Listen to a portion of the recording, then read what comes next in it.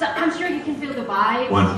Right. Everybody was like, okay, they're coming, they're coming. and finally, um, welcome, welcome to Thailand. I have heard that all of you have come to Thailand at least once. And especially um, David, it's your third time or more, right? More than fifth or sixth time. Fifth, wow. Yeah. So the others were what? Were holidays? Um, yeah, sometimes just visiting the record company and uh, other things. Peter, you've been here at least twice with me, right? No. Yeah, I think this is about my fourth time.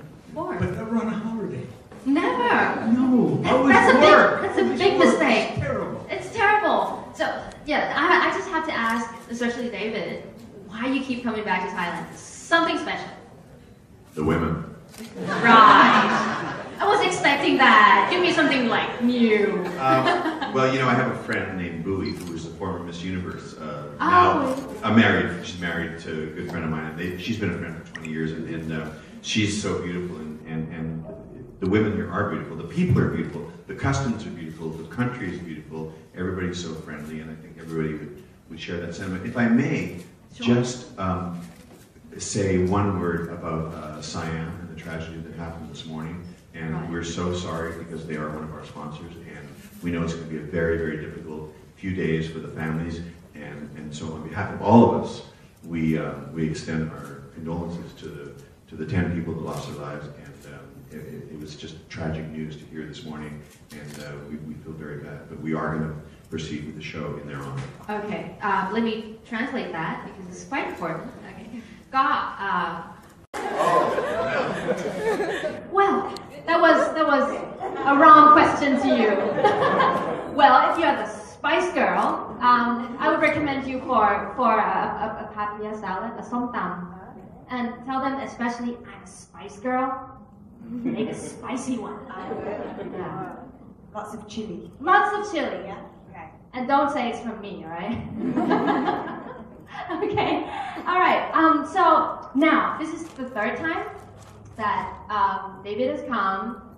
He keeps coming back with all. He has friends all around the world, and this time he's bring all these, you know, famous. I'm sure that we have all grown up to to each of, of your songs.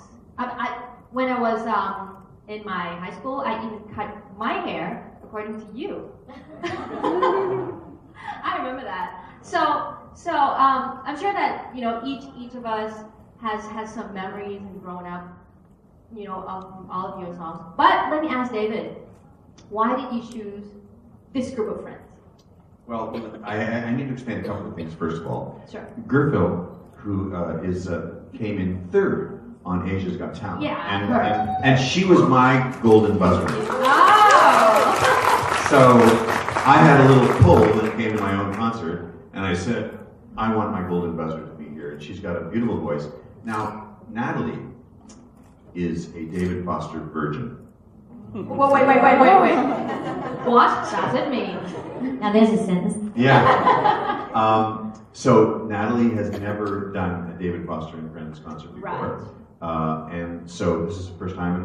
And, and honestly, the reason why she's here is because I am a fan. And I reached out to her, and she said yes. And, and I just love her music.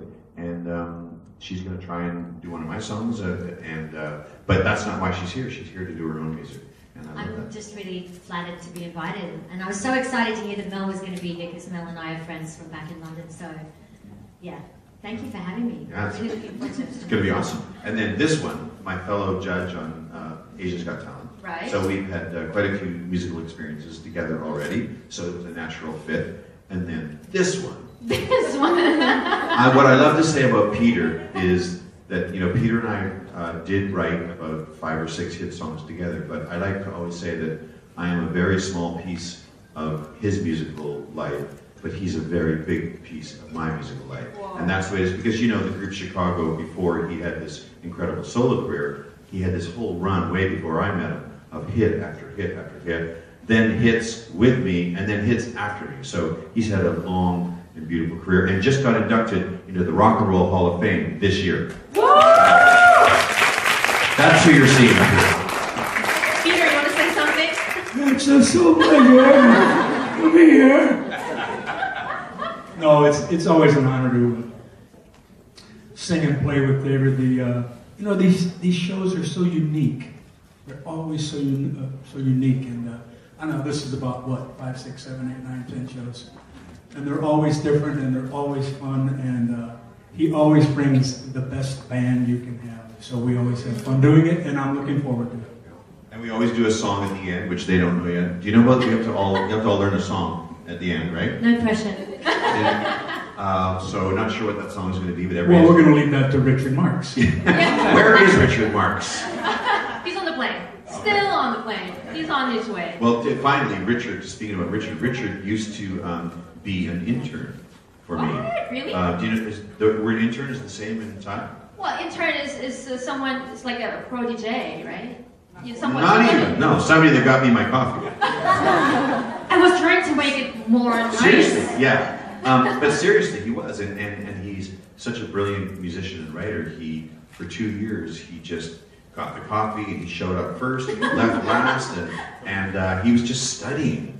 And then he went off and had this huge, huge, huge career. So really, I've performed with him before, but I'm really excited uh, to have him uh, round out this cast of stars.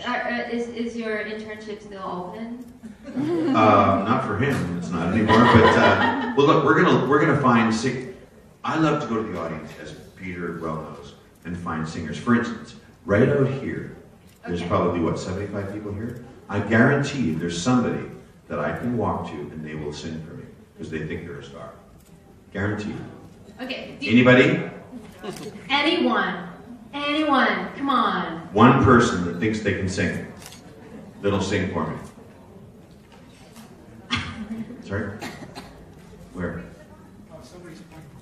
Where? Come, come up. Uh, Behind the is- camera. right behind the camera? Yeah? Is there is, is there any tricks when we talked about what's the surprises, right? Uh, and you can never tell, like you said before. Even what to the you? surprise- Even to me at this late date, yes. Okay. He wanted me to wear a dress one night. I said, no, I'm not going to do that. No. Uh, but, you know, musical surprises are good. Sometimes you, you get a unique perspective, and I think with this group of people, you never know what's going to happen. Yeah, they're all so professional that you do improvise a lot. I'm sure that's going to be really, really. Especially you, you're smiling all the time. there might be some evil plan. I, I think something that's very special about this show is it's unique, you know, the- very special and exciting. And it's so lovely to be here. I've had great experiences as a Spice Girl, as a solo artist, mm-hmm. and it's been quite a while since I've been able to perform here. So I'm very happy to be back, especially with Mr. Foster. It's like a pop-up. You know. Yeah. Before you ask Natalie, I would say, like, for instance, Yeah. maybe on Wednesday night, maybe I would say to Natalie, now I'm giving this away, but maybe I would say, Natalie, when you were a kid, what Yeah. was your favorite song that you used to sing in the house all the time that you haven't thought about for 10 or 15 years? Nate, can you think of a song that you used to sing all the time? Whitney Houston, I will always love you. Okay, so. Wow. But I can't attempt to sing that song. It's not going to happen. Anyone who's No, excited no, but now, but if I'd asked you that Wednesday night, I would make you sing that song. At I least, hope at least is the that. verse and You, chorus. you know Fernando?